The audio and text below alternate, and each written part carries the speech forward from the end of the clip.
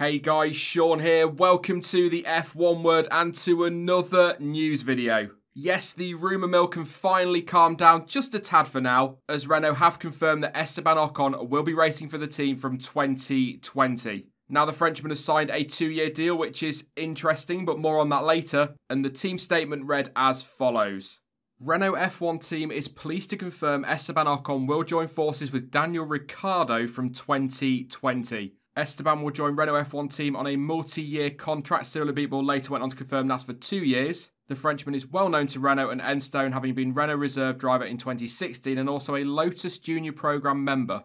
In the same statement on the website, Esteban Ocon stated, First and foremost, I am very proud to become a Renault driver. I have grown up at Enstone, starting with Lotus in 2010 and then with Renault. I am very attached to this team and everyone who works there. They are the ones who open the doors of top level motorsport for me. Secondly, I am pleased that a team with big ambitions has entrusted me with the opportunity to once again demonstrate my skills at the highest level of F1. It is a responsibility I take very seriously.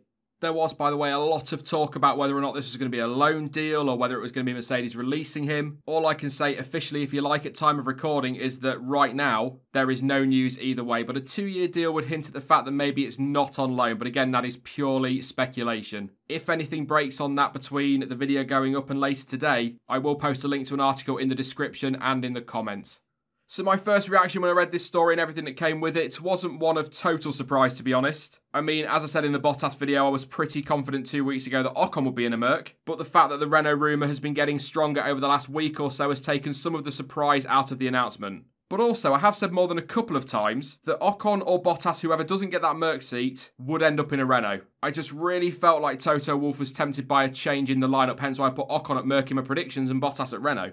On the move itself, from a Renault perspective, this is a pretty good call. Despite the fact he said that he was likely to stay for 2020, Hulkenberg hasn't really seemed all that happy or comfortable or settled or whatever. He just doesn't seem overly pleased at the moment. So it sort of feels like the right time to bring in a new driver. Ocon is also young, and as I always say, and will probably say again a few more times before the end of this video, he also has bags of potential. He is French as well, which is a big bonus. Now, as some of you have said previously, his nationality doesn't necessarily matter, and whilst I agree to a point in the sense that Renault will want the best available driver, if that best available driver also happens to be French, it's a win-win. A French driver in a French car is gold dust for them commercially looking at it from a Mercedes point of view, here's the thing. As I said earlier, I still personally think that Bottas has done enough. Perhaps more than enough to keep hold of that seat for one more year. Would I personally have liked to have seen a change at Mercedes? Yeah, that's nothing against Bottas. That is simply just my own curiosity. You know, that whole what could Ocon do versus Hamilton, or can he put himself in a position to take the reins when Hamilton retires or leaves? Just pure curiosity. Plus, sometimes it is just nice to see a change. But again, nothing at all against Valtteri, and I do think he deserves another season.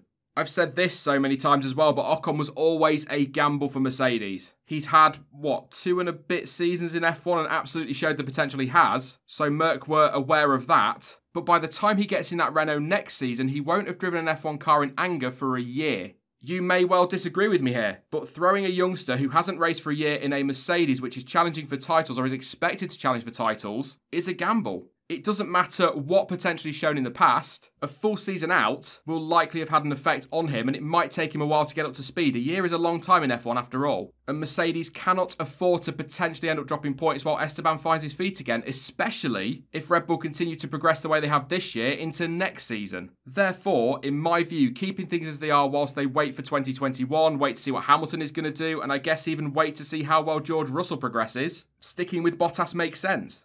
As for Ocon, though, well, it's a seat back in F1 and it's good to see that he will be given a chance again. Look, I'm not going to keep going over this. He may not have beaten Perez at Force India, but he was far more inexperienced than Checo, and in the end, he wasn't all that far off him, and without his DNFs in 2018, he could, and I'll say that word again, could have beaten him. Now, of course, that's all ifs and buts, and we'll never know. But the point is, although he has a long way to go and a lot still to learn, he did do a good job in his first stint in the sport. And I will stand by what I said towards the end of last season as well. He absolutely deserved a 2019 seat more than some of those who are currently trundling around in that midfield.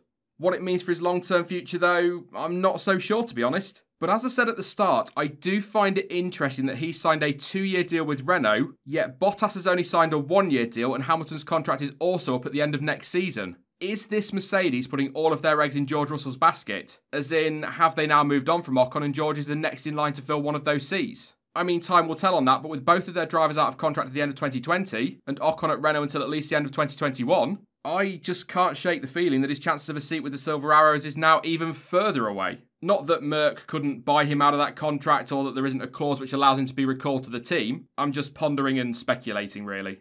I'll tell you what, though, it is going to be tough for him. Daniel Ricciardo is a very, very good driver and it will not be easy to beat him. Don't get me wrong, that's not really to be expected in 2020. His initial target for his first year with the team will just be to get his eye in again and get as close to Danny Ric as possible. I do not think for one second that Renault will be expecting him to rock up and smash the Aussie. It's more likely that they're just going to be looking for consistency. But I think he'll do okay. To summarise then, I think Renault have done some very good business here. As I said earlier, Hulkenberg doesn't seem all that happy, maybe because he knew that this was coming, but he seemed a bit off for a while now. Ocon will be great commercially for the team as well, and they've landed a quick young driver with plenty of room for development. For Merc, if he is loaned, which again right now I'm not 100% sure on, we can only speculate at this point really. Although Mercedes have since put out a tweet in reply to that announcement by Renault, which simply says, look after him for us. I'm sure we'll find out more as the weekend goes on. But if he is on loan, they have the option to call him back if they need a driver at the end of next season, and Esteban gets a chance to get himself back up to speed to show everyone what he's got. So that's kind of win win for Merc, and they get to keep Bottas as well. Again, they know what he can do. And from Ocon's point of view, it's a race seat in F1, it's with a manufacturer as well, and as much as I'm sure he'd have loved to have landed Bottas' seat, this move is not a bad one for him at all especially when you consider the 2021 changes are on the horizon now, and that could mix the grid up. We could see Renault leap up towards the front of the grid, or of course, drop down it. You never know. I really do think that all parties involved, though, have got a very good deal out of this.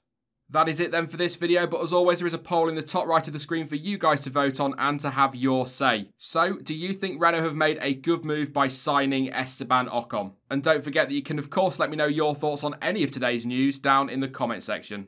Now, I will be back soon with more content as ever, but in the meantime, don't forget that you can follow me over on social media, and all of the links you need for that are in the description down below. But as ever, thank you for watching. I've been Sean, this has been the F1 Word, and until next time, goodbye.